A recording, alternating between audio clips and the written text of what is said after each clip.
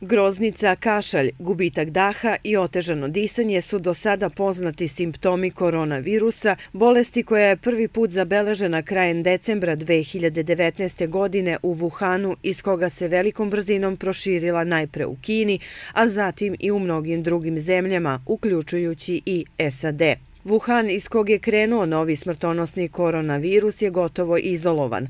Obustavljen je sav javni prevoz. Slične mere uvedene su i Huangangu, gradu koji ima 6 miliona stanovnika. Pre nekih desetak dana sam došao iz Kine, došao sam iz grada Džuhaja, to je južna Kina, dakle između Hong Konga i Makaa.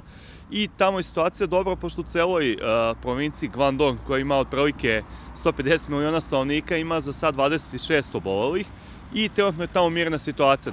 Kako bi se rizik od zaraze sprečio, pokrenute su mere zaštite.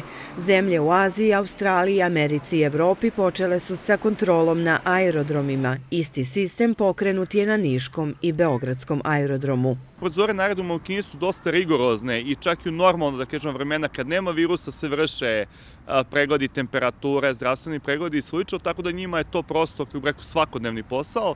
Plus u ovakvim situacijama je to još dosta drastičije. Međutim, moram reći da u provinciji s kojoj ja dolazim i danas sam čuo s nekoliko prijatelja i dalje nema tih kontrola jer smatruju da u toj provinciji nema potrebe za tako nečim. Predstavnik Svetske zdravstvene organizacije u Srbiji, Marijan Ivanuša, kaže da se rizik od unošenja koronavirusa u Srbiju ili Evropu procenjuje kao nizak ili srednji, ali da ta mogućnost ne može biti isključena, posebno ako se ima u vidu da predstoji kineska nova godina i da će milioni kineza iz svih delova sveta putovati u Kinu. Uprkos merama, da li bi u Srbiji trebalo da se strahuje?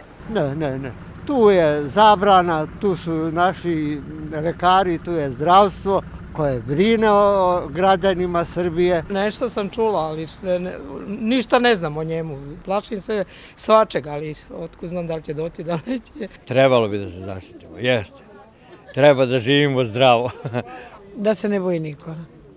Kako? Pa ništa nije to strašno. Pa napadaju nas virusi non stop.